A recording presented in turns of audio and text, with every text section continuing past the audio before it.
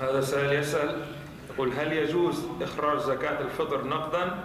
وما هو أفضل وقت لإخراج زكاة الفطر؟ وهل يجوز إخراجها من الآن؟ وهل يجوز إخراجها في بلادي في مصر لوجود حاجة أشد من هنا؟ نرجو الإفادة بارك الله فيك. النبي فرضها طعام ولم يفرضها نقودا ينبغي يعني التقيد بالصفة والصورة التي يعني فرضها النبي صلى الله عليه وسلم.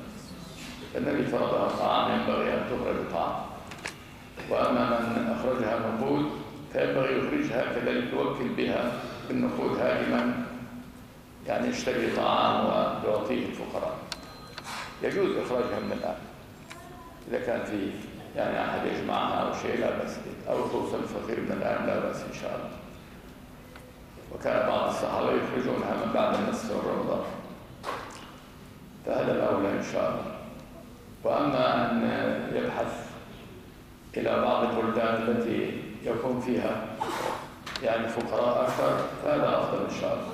لا بأس أنه يرسل بها إلى بعض البلدان الفقيرة فهذا لا بأس إن شاء الله.